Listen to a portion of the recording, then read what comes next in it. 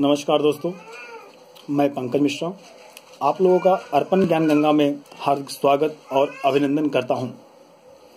दोस्तों, आज हम आपको बताने वाले हैं कि अगर आप अपने व्यापार में है परेशान तो करें ये उपाय, हो जाएगा चमत्कार। दोस्तों, अक्सर हर व्यक्ति अपने दैनिक जीवन में कहीं न कहीं किसी न किसी परेशानी में रहता ही है। किसी न किसी प्रकार से वो परेशान रहता ही है। उस परेशानी का उपाय हमारे जो शास्त्र हैं, हमारे जो वेद हैं, जो हमारे धर्म हैं, वहाँ पे उस पर वहाँ पे वर्णन होता है। अगर हम उसका उपाय करते हैं तो उसका हमें फ़ायदा मिलता है। दोस्तों, आज हम आपको बताने वाले हैं कि अगर आप व्यापार में परेशान हैं और ये उपाय आप करते हैं तो आपको ज़रूर लाभ मिलेगा, ज़रूर आपको फ़ायदा होगा।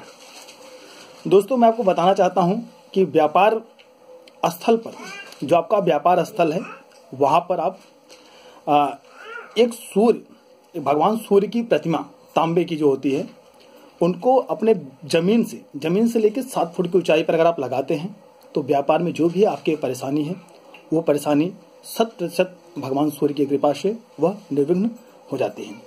बिना विघ्न के वह हट जाती है।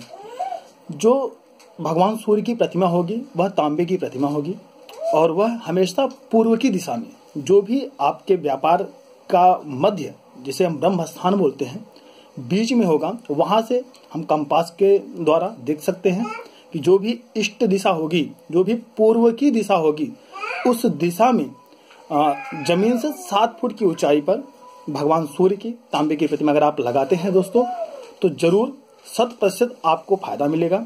आपके व्यापार में जो तकलीफ़ चल रही है, उससे भी आपको फ़ायदा मिलेगा। वहाँ पे आपको निवारण हो जाएगा। जहाँ जैसे कि आपके व्यापार में कभी हो सकता है कि उतार चढ़ाव होना स्वाभाविक स्वाभाविक है।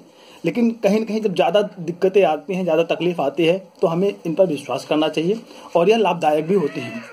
काफ़ी लोगों ने इस यंत्र को प्रयोग में लाया हुआ है।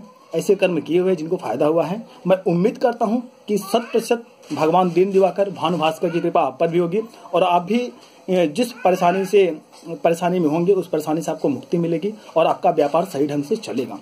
नमस्कार दोस्तों, अगर आपको हमारा यह वीडियो अच्छा लगा हो तो सब्सक्राइब करें और लाइक करें। धन्यवाद दोस्तों, नमस्कार।